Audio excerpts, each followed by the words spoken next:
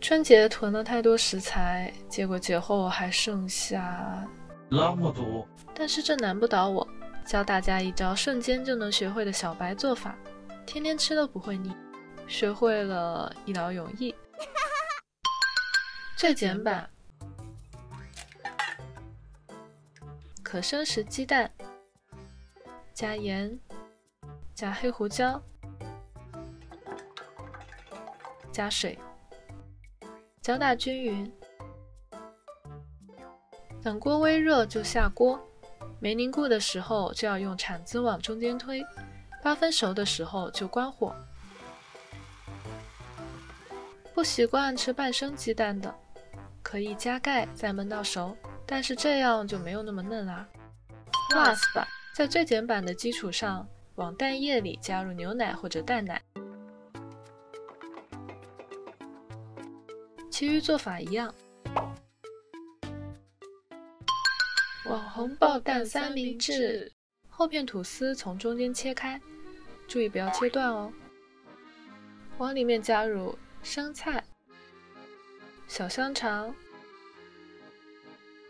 肉松或者其他你想吃的东西，最后在顶上放上刚煎好的蛋。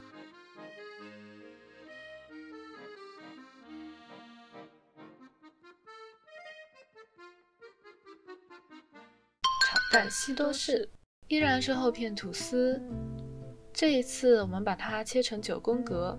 还是一样，不要切断。用蜂蜜水刷在表面，这样一火就会形成香香甜甜的糖壳。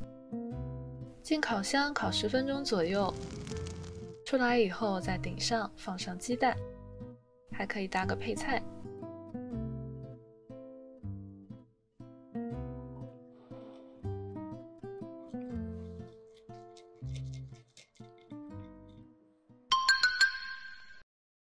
小餐包中间切开，还是一样不要切断哦。放上生菜、煎蛋，还有芝士。这样的做法既简单又快捷，当成工作日的早餐也可以。